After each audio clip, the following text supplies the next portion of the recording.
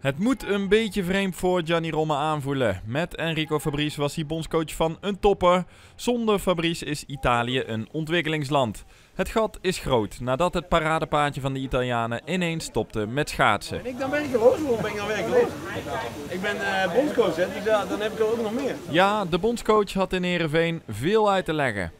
Eh, ik zag heel veel parallellen, ook met mijn eigen manier van hoe ik afscheid van deze sport heb moeten nemen als, als, ja, als actieve. De geest was op, was dat het? Ja, dan, dan is de, de, de echte drive is er niet meer. Ook om het feit dat je natuurlijk, hij heeft alles gewonnen. Goed, weg is de Olympisch kampioen van 2006 en in één klap is Romme dus nu vooral opleider. Maar zelf opgeven, dat nooit.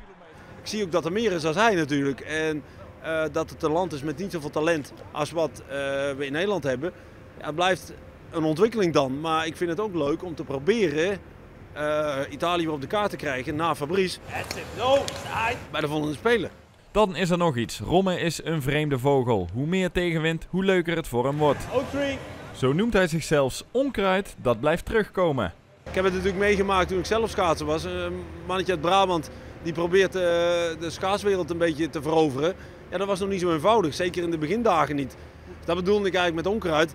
Hoe meer dat ze tegen mij zeggen van dat het, dat het ah, dat wordt niks en wat moet je dan nou eigenlijk of moeilijkheden. Dan zeg ik altijd van nou ja, eh, probeer me om te schoffelen. Ik, eh, ik kan ermee omgaan en ik kom keihard weer terug. Oh, seven! Rest de vraag hoe nu verder. Er is talent, maar er moet gebouwd worden. Wanneer horen we weer iets van de Blauwe Brigade? Je kan wel in, in 2,5 jaar tijd richting de Spelen toe een hele goede ontwikkeling doormaken. Maar om daar een voorspelling in te doen, heel lastig.